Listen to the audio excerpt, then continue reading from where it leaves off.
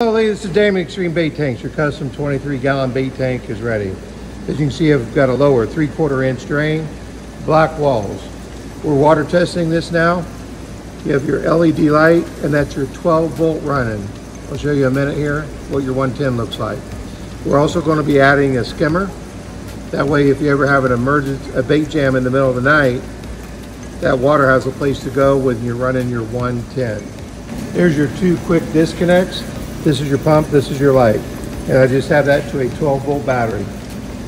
No more, no 24, no 36, 12 volt. I'm gonna send you with the back half of this that'll connect red to red, black to black. This is what you build to your power source or your battery. But always make sure you get red to red, black to black if you ever have to replace this. This is a great example of how the water from the, this is the dirty water that's coming over from the bait area. This is what will go into your double sock filter system. That's your 110 pump, 12 volt pump.